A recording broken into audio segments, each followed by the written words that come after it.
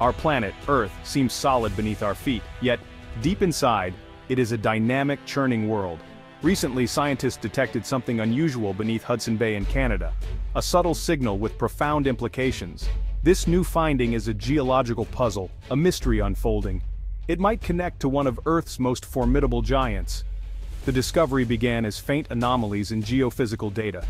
Strange readings that did not fit known patterns. At first, some thought it was an error, but the signals persisted, growing clearer with more observation. They pointed to a significant disturbance in the mantle, the deep layer beneath Earth's crust. What could cause such a disturbance? The region of Hudson Bay is fascinating to geologists. It bears the immense weight of ancient ice sheets. Even now the land is slowly rising, rebounding from that icy burden. This process is called post-glacial rebound, but this new anomaly seems different, deeper, it hints at processes originating far below the surface. Processes linked to the very heart of our planet's heat engine. This isn't just a local Canadian curiosity. The Earth is an interconnected system. What happens in one place can have effects far away. This discovery beneath Hudson Bay could be such a tremor. Its potential connections stretch south towards Yellowstone. Who found this remarkable anomaly? The International Geodynamic Survey, IGS, these scientists are like detectives of the deep Earth. Their mission to understand our planet's inner workings.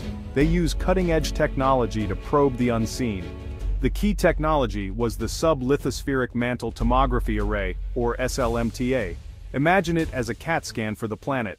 But instead of X-rays, it uses seismic waves.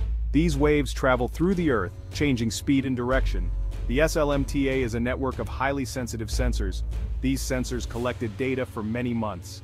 Computers then crunched the enormous datasets. They built up a three-dimensional picture of the mantle beneath Hudson Bay. This is where the anomaly appeared. A region of unusually low seismic velocity. This often indicates hotter, more buoyant material. Perhaps a plume of warm rock rising from deep within the mantle. Or maybe a zone where the mantle is partially molten. The data is clear, something significant is stirring there. The IGS team, led by Dr. Aris Thorne, was cautious. They cross-referenced their findings with other data, everything pointed to the same conclusion. The anomaly was real, and it was dynamic. So, there's a hotspot or something like it under Hudson Bay. Why should this concern anyone beyond geologists? The answer lies in potential connections. Scientists are now exploring a startling hypothesis a link between this Hudson Bay anomaly and the Yellowstone supervolcano, hundreds, even thousands of miles apart. Yet they might be connected by Earth's hidden plumbing, a kind of geological highway deep beneath the surface. The proposed link is not a simple, straight pipe. Earth's mantle is a complex, slowly churning ocean of rock. One idea is a deep mantle thermal conduit, a channel of hotter, more mobile rock. This conduit might have existed for millions of years, the new activity under Hudson Bay could be sending pressure pulses, or perhaps a flow of material along this ancient pathway, a pathway that leads towards the vast magma chamber beneath Yellowstone. The science here is new and evolving. Researchers are racing to gather more data. Understanding this link is now a top priority. Yellowstone, a titan slumbering beneath our feet, Yellowstone. The name itself evokes images of raw, natural power, Geysers like Old Faithful shooting steam skyward, bubbling mud pots and vibrant hot springs. These are just surface expressions of something far grander and far more dangerous lurking below. Yellowstone is not just a park, it is a supervolcano. One of the largest known active volcanic systems on Earth, its caldera, or giant crater, was formed by colossal past eruptions, it measures about 30 by 45 miles.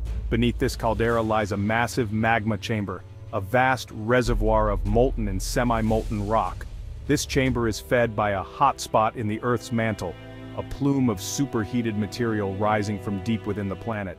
This hotspot has been active for millions of years, as the North American tectonic plate drifts over it. The hotspot punches through, creating a chain of calderas. Yellowstone is just the current location above this fiery plume. It has erupted catastrophically several times in the distant past. The last super eruption was about 631,000 years ago. Yellowstone has the potential for such an event. Though the probability in any given year is very low, it is not zero. Scientists at the Yellowstone Volcano Observatory monitor it constantly. How could something happening under Hudson Bay affect Yellowstone? Earth systems are complex and delicately balanced. Imagine a very full glass of water. The slightest nudge can cause it to overflow. Yellowstone's magma system might be in such a state, sensitive to subtle changes in pressure or stress. The newly detected anomaly beneath Hudson Bay represents a change. If the Hudson Bay anomaly were to contribute to a Yellowstone eruption, what would that actually mean? The consequences of a super eruption are difficult to fully grasp. They would be global, and they would be catastrophic. It is not just an American disaster, it is a planetary event. The immediate vicinity of Yellowstone would be obliterated, covered by pyroclastic flows, fast-moving avalanches of hot ash, gas and rock. These flows can travel hundreds of miles. Nothing in their path would survive. This zone of total devastation would cover parts of Wyoming, Montana, and Idaho. Beyond the immediate blast zone, the ashfall would be the next crisis. A thick blanket of volcanic ash would cover much of North America. Inches or even feet of ash would fall across the continent. This ash is not like soft fireplace ash. It is made of tiny, sharp fragments of rock and glass. It collapses buildings under its weight. It clogs engines and water filtration systems, it contaminates water supplies and agricultural land. Breathing it causes severe respiratory problems. Transportation, power grids and communications would grind to a halt. The impacts would not stop at the continent's edge. A super eruption injects enormous amounts of sulfur dioxide into the stratosphere. This gas combines with water to form sulfate aerosols. The result would be a volcanic winter,